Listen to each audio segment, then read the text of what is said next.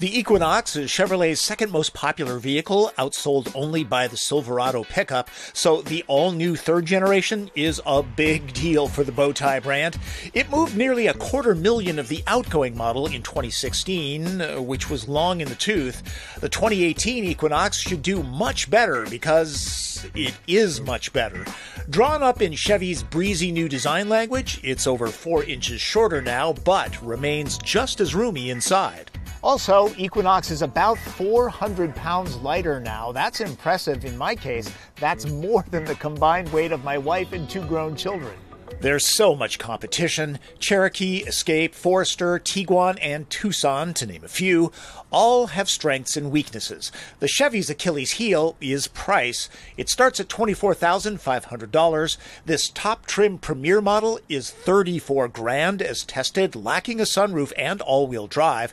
Uh, now, to be fair, there are heated and vented seats, a toasty steering wheel, and surround view camera system. Haggle hard, Depending on your preferences in a crossover, the effort could be worth it. Where Equinox really shines is the driving dynamic. It's very quiet, comfortable, and polished, almost like a luxury car. If the roads to soccer or Little League practice are rough, this suspension takes it in stride. It's respectable in the corners too, though if all you want is sporty, check out the Mazda CX5 and Honda CRV. Seats are a very personal thing. I find these extremely comfortable. Also, when the lane keep assist warning comes on, it doesn't beep. The seat vibrates. Very discreet. For now, Equinox motors with a 1.5 liter turbocharged four cylinder engine with 170 horsepower and 203 pound feet of torque. There will be two engine options a four cylinder turbo diesel expected to get as high as 40 miles per gallon on the highway, and a gas powered 2 liter turbocharged four cylinder with 252 horsepower. It gets a 9 speed transmission. The 1.5 and diesel engines switch gears with a 6 speed automatic. These controls are for the sound system, not paddle shifters. The optional all wheel drive is unique in that it signals you when it thinks you should push the button to engage it. Others do it automatically. As for Scoot, this smooth engine is fine. This is not as fast as the Honda CRV equipped with a 1.5 liter turbo engine, but the Equinox will have that more powerful optional engine Speed Racer.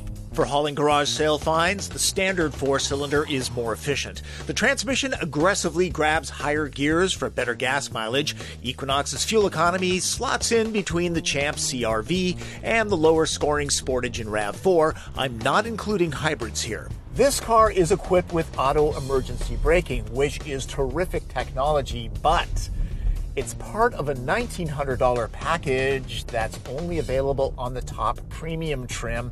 It's standard equipment on all Toyota RAV4s and most Honda CRVs. And Nissan just announced it will be standard on all 2018 Rogues. Friends and neighbors fawned over this Premier model's interior. It looks rich with stitched inserts. Uh, maybe the doors could use some spiff. Some of the plastic is hard, but it's substantial to the touch. Materials down below get more of a budget feel. There's storage, storage, storage, enough room here to stash tablets or a large camera, wireless charging too if your phone supports it. General Motors has quietly improved its user interface to become one of the more elegant choices in class with just the right amount of physical buttons and knobs. The system plays well with Android and Apple phones too. I'm five foot nine. I am also five foot nine. This is a great back seat test. Sure is. This is a roomy space back here. The seats are high, so not only is thigh support good, it makes it easy for kids to see out of the windows. Legroom is generous too. There's nothing that can't be charged here, and the heated seats get better flexibility than some luxury brands.